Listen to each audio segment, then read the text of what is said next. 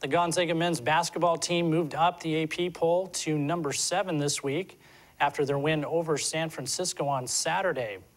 The Zags led San Francisco 21 to 43 at the break, thanks to 58% shooting from the field. Kelly Olynyk led Gonzaga with 13 points and eight rebounds. Elias Harris had 12 points, and Kevin Pangos added 11. Gonzaga's shooting tapered off in that second half, and San Francisco actually outscored them by eight points. But the Bulldogs held on to win 66 to 52. Head coach Mark Few was pleased for the most part, saying the team played really, really good basketball for 30 minutes.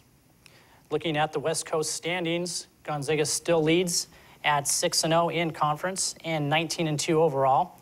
They have a half game lead over St. Mary's. Thursday, Gonzaga will travel to Loyola Marymount, and Saturday they play at San Diego. Tip off for both games is at 8 p.m.